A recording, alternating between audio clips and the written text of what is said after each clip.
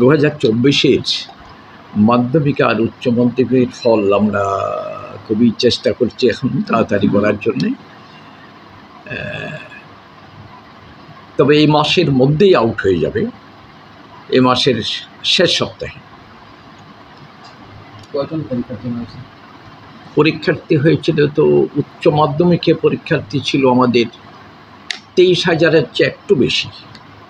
আর মাধ্যমিকে ছিল তেত্রিশ হাজারের মতো বাচ্চাও তো আগে আমরা মানে আগেকার সময়তে যেটা আমরা বলতাম কম্পার্টমেন্টাল পরীক্ষা, সেটা এক্ষুনি বলা হচ্ছে বছর বাঁচাও। তো মানে একবার পরীক্ষা ফেল করল, ইয়ারটা যেন আবার জীবন থেকে চলে না যায় আর একটা পরীক্ষা দিয়ে যেন এই বছরটা বাঁচানো যায় আর কি।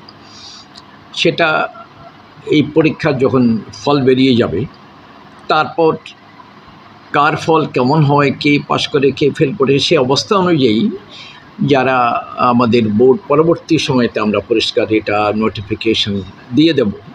যারা বছর বাঁচাও পরীক্ষা দিতে চায় কত দিনের মধ্যে ফর্ম ফিল আপ করতে হবে, কী কী করতে হবে, এটা আমাদের পরবর্তী পদক্ষেপ। এক্ষুনি যেটা, পরীক্ষার ফল বেরিয়ে যাক, তারপরে ওই বছর বাঁচাওর ব্যাপারে পরিষ্কার সব আমরা নোটিফিকেশন দিয়ে দেবো। খাতা দেখা শেষ হয়ে গেছে।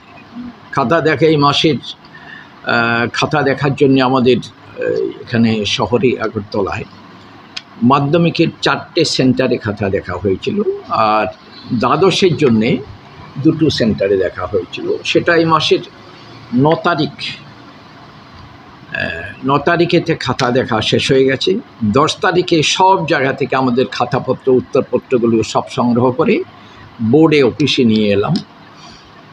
আনার পর তো রেজাল্ট পাবলিশ করার জন্য পরবর্তী যে কাজ, সেগুলো এখন আমাদের বোর্ডে আমাদের যারা কর্মচারী রাত নটা, সাড়ে নটা, দশটার কাছাকাছিও বাজে এইভাবে এখন কাজ করতে হচ্ছে।